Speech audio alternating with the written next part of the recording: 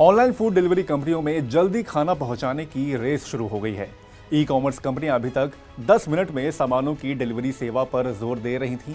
इस बीच आईपीओ से पहले जोमैटो को टक्कर देने के लिए स्विगी ने बड़ा दाव चल दिया है।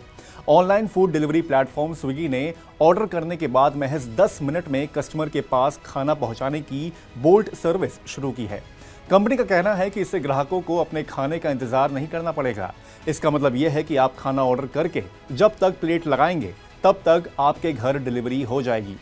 स्विगी फ़ूड मार्केट प्लेस के सीईओ रोहित कपूर ने लिंकड पोस्ट के ज़रिए इसकी जानकारी दी है।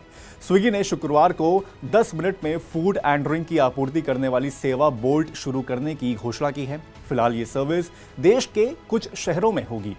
रोहित कपूर के पोस्ट के मुताबिक शुक्रवार को कंपनी ने कुछ शहरों में बोल्ड सर्विस का ट्रायल भी शुरू किया। स्विगी की बोल्ड सर्विस फ़िलहाल छह शहरों में मिलेगी।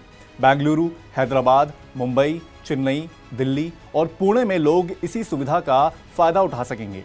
बोल्ड सर्विस के ज़रिए ग्राहकों को दो किलोमीटर के दायरे में चुनिंदा रेस्टोरों में से तेज़ी से भोजन पहुँचाया जाएगा। स्विगी फ़ूड मार्केट प्लेस के सीईओ रोहित कपूर ने बताया कि हम भरोसेमंद रेस्टोरों के साथ साझेदारी करके सिर्फ़ 10 मिनट में बेहतरीन भोजन डिलीवर कर रहे हैं। उन्होंने कहा कि 10 साल पहले स्विगी ने औसत वेटिंग टाइम को घटाकर 30 मिनट कर दिया था, जिससे खाद्य वितरण में क्रांति आ गई थी। अब हम कॉफ़ी, बर्गर, आइसक्रीम और बिरयानी जैसे अक्सर ऑर्डर की जाने वाली चीज़ों के लिए वेटिंग टाइम को और भी कम कर रहे हैं और सिर्फ़ 10 मिनट में बेहतरीन भोजन पहुँचाने के लिए विश्वसनीय रेस्टोरों के साथ साझेदारी कर रहे हैं। बता दें कि आने वाले समय में इसे कंपनी दूसरे शहरों तक विस्तार देने की योजना बना रही है। आपको बता दें कि स्विगी अपना आईपीओ भी लाने वाली है। आईपीओ से पहले शुरू की गई बोल्ड सर्विस को बड़ा दाव माना जा रहा है। कहा जा रहा है कि इससे जोमैटो को कड़ी टक्कर मिलने वाली है। आपको बता दें कि जल्द ही शेयर बाज़ार में फ़ूड डिलीवरी प्लेटफॉर्म की एंट्री भी होने वाली है।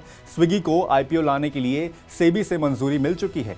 इसके शेयर होल्डर से मंजूरी मिलने के बाद फ्रेश इशू साइज़ को 3,750 करोड़ों से बढ़ाकर 5,000 करोड़ रुपए कर दिया है। हालाँकि अभी स्विगी आईपीओ की डेट को लेकर कोई जानकारी नहीं दे पाई है। फ़िलहाल अगर आप शेयर बाज़ार से पैसा कमाना चाहते हैं तो पैसा तैयार रखें।